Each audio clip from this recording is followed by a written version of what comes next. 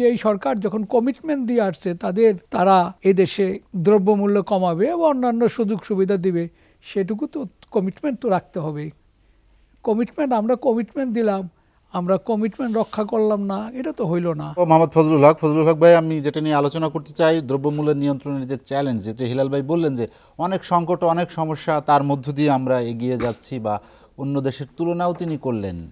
সেই প্রেক্ষিতে আপনার কি মনে হয় যে, বাংলাদেশের মানুষের পকেটটা কি তত ভারী যে এই বাড়তি অর্থ দেওয়ার মতো সক্ষমতা তাদের আছে কিনা?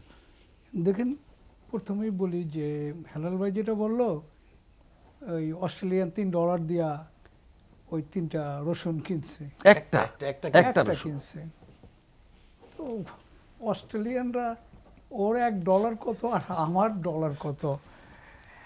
এইটা যুক্তিটা অস্ট্রেলিয়ানরা কিনতে পারে, কিন্তু আমার আমার লোকের কি সমর্থ আছে? আমার লোকের কি সমর্থ আছে? না। এখন প্রিন্স ভাই যে কথাটা বলতেছিল যে সিন্ডিকেট সিন্ডিকেট আপনি ভাঙবেন কীভাবে?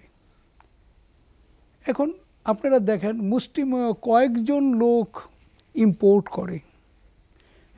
যখন ডলারের সংকট ছিল না ছোট ছোট ব্যবসায়ীরও কিন্তু এই ইম্পোর্ট করতো, তখন কিন্তু আর সিন্ডিকেট করতে পারে, এত একশো দুশো লোক যদি ইম্পোর্ট করেছে না সিন্ডিকেট হইতে পারে না।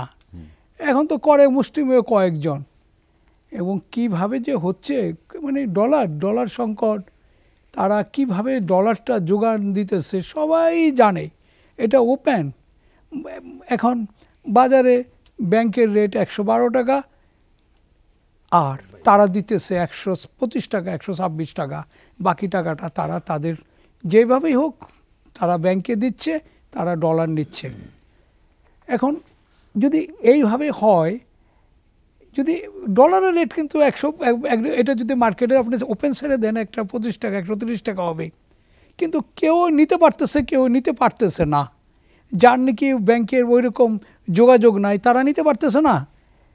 তাহলে কেন ডলারের রেটটা যদি ভাসমান করে দেয়, তাহলে কিন্তু অনেক অনেক কিছু কিন্তু সমাধা হয়ে যায়। আপনি বলেন সিন্ডিকেট হোক, যাই হোক, কিছু লোক তো পয়সা কামাচ্ছে, এই কথাটা কি অস্বীকার করতে পারবে না। কিছু ব্যাংক এলসি করতে পারতেছে না, কিছু ব্যাংক কিন্তু এলসি করতেছে। তারা লাভ করতেছে, যারা এলসি করতেছে। তারা বুক ফুলাইয়ে হেলসি করতেছে। তাদের কিন্তু কেউই কোনো সেন্ট্রাল ব্যাংকও কিছু কইতেছে না। খালি হুরুম দুরুম বড় বড় কথা বলতেছে কিন্তু কিছু করতেছে না। এরা কারা? কারা? এটা সবাই জানে কারা আপনি নিজেও জানেন। আমরা এখানে যারা আছি সবাই জানি। কারা? সেটা আমার মুখে কেন? সবাই আপনিও জানেন কারা। সে এখানে সবাই জানে। কিন্তু আমরা আমরা কি এত ভীত সন্ত্রস্ত যে আমরা কেন নামটা বলতে পারি না? সবাই আমরা যদি এই এইটা এইটা যদি শুধু ডলারটা ওপেন করে দিলে কিন্তু আমাদের অনেক সমস্যা সমাধান হয়ে যায়। আজকে যদি, তখন একটা মার্কেট একটা কম্পিটিটিভ হবে এখানে দ্রব্যমূল্যগুলো। এখন তো দ্রব্যমূল্যগুলো হচ্ছে না। হ্যাঁ লোকাল যেটা আছে ভাই, যে কথা তো আমিও তার সাথে একমত। বাইরের একটা শ্রমিকের মজুরি হচ্ছে পাঁচশো, ছয়শো টাকা। তো তারও তো খরচ বেড়ে গেছে। মানে একটা দুই লাউ যে ফলাবে বা অন্য সবজি ফলাবে সে যদি বাইরের লোক রাখে দু একটা, তাহলে তো এটা বেড়ে গেছে। হ্যাঁ সারের দাম বাড়ছে, যদি মানে তেলের দাম বাড়ছে ইলেকট্রিসিটি বাড়ছে এইটা হবে। আমার কথা হচ্ছে, আমার চাউলের দাম কিছু বাড়ুক, সেটা আমার কৃষকরা পাচ্ছে। কিন্তু যেগুলো কমানে, যে আজকে আমরা শুনলাম, সরকার যেই, হয়তো ভাইয়ের কাছে হিসাব আছে, যে সরকার যে, যেই রমজান উপলক্ষে যতটুকু দাম কমাইছে সেটা কি হবে?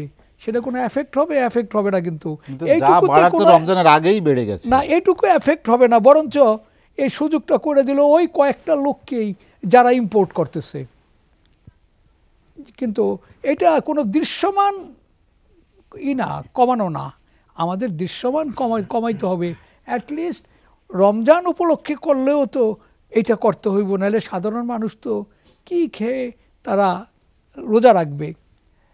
এখন যে কথাটা ভাই তো বলে গেল যে দেখেন, নতুন সরকার না, সরকার তো পুরানোই।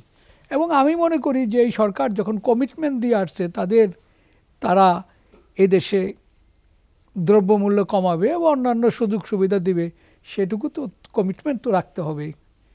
কমিটমেন্ট আমরা কমিটমেন্ট দিলাম, আমরা কমিটমেন্ট রক্ষা করলাম না, এটা তো হইল না। এটা সবারই সবারই মনে দুঃখ থাকবে যে কমিটমেন্ট দিচ্ছে আমরা আমরা আমরা এই সরকারকে মেনে নিছি।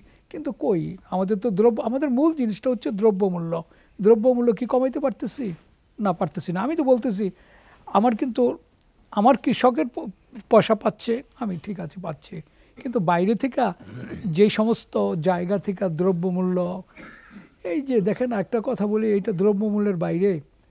আমাদের নতুন একটা কন্ট্রাক্ট হয়েছে আমাদের জ্বালানি আনবে জি। এলপিজি সেখানে কত স্যার কইতে পারবে one point two million two billion ডলারে যদি এই কন্ট্রাক্টটা আমরা আজকে পর্যালোচনা করলাম এখানে সাড়ে সাত পার্সেন্ট হবে ইন্টারেস্ট রেট অফ ইন্টারেস্ট আজকে আমরা এটা নিয়ে কথা বললাম। এবং এক বছর পরেই আমাদের রিপেমেন্ট করতে হবে। সেই সমর্থগুলো আমাদের আছে কি না আমাদের সমর্থগুলো আছে কিনা আমরা একটা কন্ট্রাক্ট করলাম মানে এই- এই ডলার আনব ওয়ান পয়েন্ট টু বিলিয়ন আমাদের এলএনজির জন্য বা বিদ্যুতের জন্য কিন্তু এইটা পরিশোধের সামর্থ্য আছে কিনা সেটা যদি একইভাবে নির্ণয় না করি তাহলে কিন্তু এই ডলারের সংকট আরও দিন দিন বাড়বে কমবে না। আজকে আজকে আমার এক সাপ্লায়ার আজকে আমার আমার কাছে আইসা বলতেছে দেখো দেখো, তোমার, আমার, তোমার দেশে তো এরকম ছিল না। এখন আমরা আমরা ডলার আমরা আমরা আমাদের পেমেন্ট পাচ্ছি না ডলার পাচ্ছি না। দুই মাস, তিন মাসও হয়ে যাচ্ছে। কি অবস্থা? আমি কিন্তু একেবারে কাচুমাচু করে বললাম যে, দেখো, একটু অসুবিধা যাচ্ছে। তাহলে কি আমরা কি মনে করতে পারি যে চব্বিশ সনের শেষের দিকে শেষের দিকে এটা সমস্যার সমাধান হয়ে যাবে?